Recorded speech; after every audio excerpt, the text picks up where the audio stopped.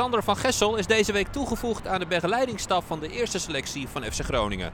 De oud-middenvelder van FC Groningen stopt daarom als trainer van FC Groningen onder 17. Van Gessel was al deels betrokken bij de eerste selectie, maar heeft nu een permanente rol als assistenttrainer. Het was al zo dat vanaf het begin van het seizoen dat ik daar wel bij betrokken was.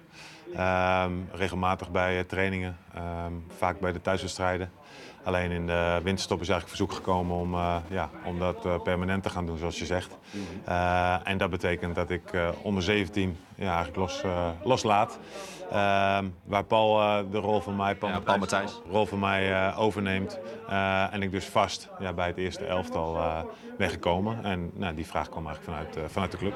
Van Gessel is de komende anderhalf jaar een van de assistenttrainers van hoofdtrainer Danny Buis. Je bent er nu gewoon constant bij, dus we nemen iedere dag ja, de dingen door. Uh, daarin uh, stemmen we ook de rollen af.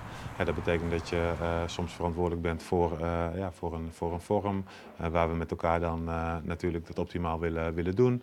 dat betekent dat je nou, in ieder geval bij de wedstrijd dat mijn rol in die zin niet verandert uh, dat ik er in eerste instantie niet bij op de bank uh, kom, maar dat ik van bovenaf meer in contact sta, waar je ook het betere overzicht hebt. Nou, dat was al zo, alleen dat voegen we nu dan toe, ook bij de uitwedstrijden. En dat proberen we ook ja, wat meer, nog wat meer inhoud te geven.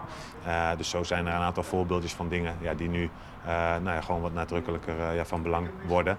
en waarin je ook met elkaar nu ja, wat meer zeg maar, ja, de diepte in kan, denk ik.